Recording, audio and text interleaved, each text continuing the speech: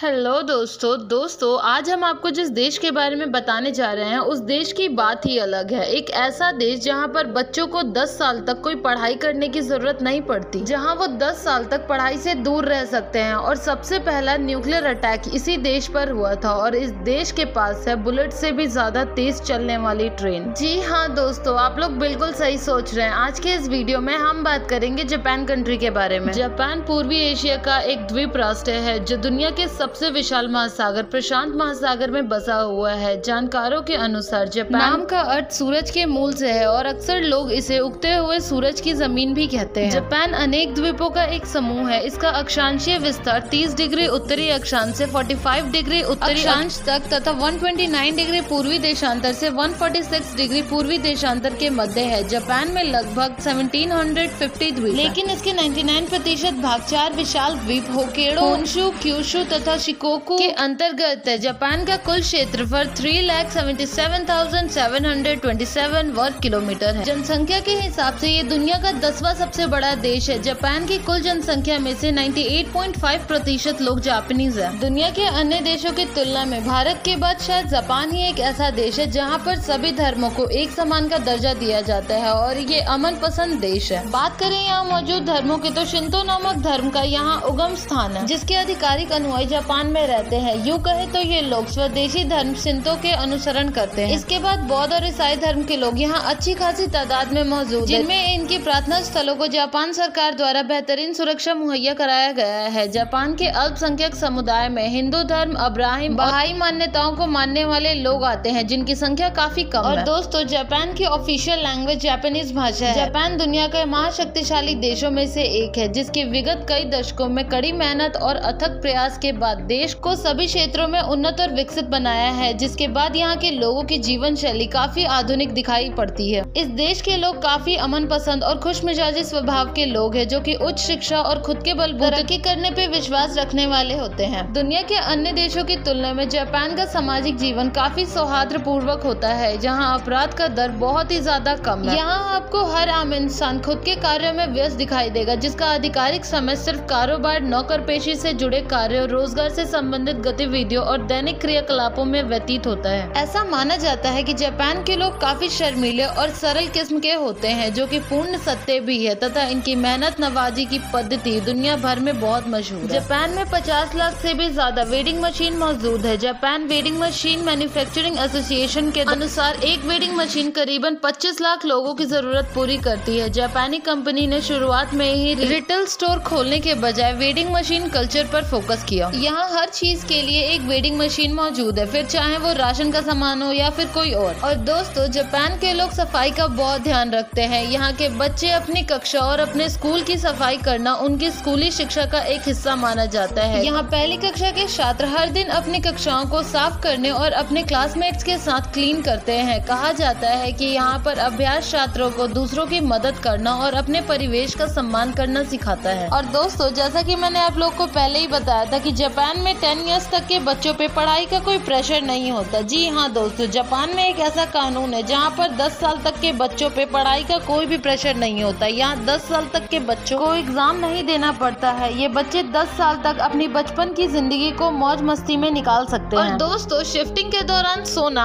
आफत बुला लेने से कम नहीं है। भारत समेत कई देशों में ऐसा करने पर या तो आपको बॉस से डांट पड़ती है या तो कंपनी का एचआर आपके खिलाफ कोई एक्शन ले सकता है। लेकिन जापान में ऐसा नहीं है। यहाँ काम करने के दौरान सोना स्वीकारनीय है। माना जाता है कि काम के दौरान सोना आलस नहीं बल्कि कड़ी मेहनत का संकेत है। इस सिस्टम को इनेमुरी कहा जाता है। यहाँ की कुछ कंपनियाँ कर्मचारियों को दोपहर एक बजे से शाम के चार बजे के बीस मिनट सोने की सहूलियत देती है। कोडल कैफ़े जापान का बहुत ही ज़्यादा प्रसिद्ध और बड़ा मार्केट है। इस कैफ़े में लोग आराम कर सकते हैं। यहाँ आप थकान दूर कर सकते हैं। ये सुनकर आपको थोड़ा अजीब लग सकता है लेकिन ये असल में कुछ ही मिनटों में आप आपको सुकून देने वाली एक प्रथा है। यहाँ काम करने वाले अनजान शख्स से आपको थोड़ी देर के लिए भावनात्मक लगाव मिल सकती है। इसकी शुरुआत करीबन 10 साल पहले हुआ था। पहला ऑफिशियल कोडल कैफ़े जापान में अक्टूबर 2012 में खुला, जहाँ गले मिलकर या हाथ पकड़कर बात करने का मतलब किसी को सेक्स ऑफ़र करने का इजाज़त देना नहीं है। यहाँ ऐसा करने पर प्रतिबंध लगाया गया है। और दोस्तों, यहाँ की सबसे अजीबोगरीब स्टाइल की बात करें तो यहाँ पर महिलाओं में डबल टूथ कैंप का एक चलन बहुत ही ज़्यादा वायरल हुआ था। यहाँ की महिलाएँ बाकायदा सर्जरी कराने के लिए लंबा इंतज़ार करने से भी परहेज नहीं करती थी। दरअसल इसके तहत अगर दांत बीच से टूटा हुआ हो या उबड़ खाबड़ होंगे तो उन्हें बेहद खूबसूरत माना जाएगा। ये अजीबोगरीब स्टाइल स्टेटमेंट लोगों के बीच में बहुत ही ज़्यादा पॉपुलर हुआ था और ये बेहद कॉस्टली भी है। और दोस्तों जैसा की मैंने आप लोग को पहले ही बताया था की सबसे पहला न्यूक्लियर बॉम्ब अटैक जापान में ही हुआ है। दोस्तों ये बात आप लोग को तो बहुत अच्छे से पता होगा कि जापान पर दो परमाणु बमों का हमला किया जा चुका है। दुनिया के इतिहास में परमाणु बमों का यूज़ वर्ल्ड वॉर टू के दौरान हुआ था। जब अमेरिका ने जापान के दो शहर हिरोशिमा और नागासाही पर 6 से 9 अगस्त 1945 को हमला कर दिया था। और दोस्तों जैसा कि हम सभी को पता है कि जो ऑक्टोपस होता है वो सी फ़ूड में आते हैं। जो समुद्री भोजन प्रेमी होते हैं उन्हें बहुत पसंद आता है। लेकिन इसकी बनी आइसक्रीम सुनने में काफ़ी अजीब है। जिन लोगों को खाने में एक्सपेरिमेंट करना पसंद है वो लोग जापान में जाकर ऑक्टोपस फ्लेवर वाली आइसक्रीम को ट्राई कर सकते हैं। जापान में अक्सर भूकंप आते रहते हैं। अर्थक्विक जैसी प्राकृतिक आपदा के मामले में भी ये लोग अजीबोगरीब स्थिति का सामना करने के लिए हमेशा तैयार रहते हैं। तो दोस्तों, ये था जापान। आपको कैसा लगा हमें कमेंट करके अपने आंसर ज़रूर बताएगा और वीडियो अच्छी लगी हो तो वीडियो को लाइक, कमेंट और शेयर और चैनल को सब्सक्राइब करना मत भूलिएगा, प्लीज़।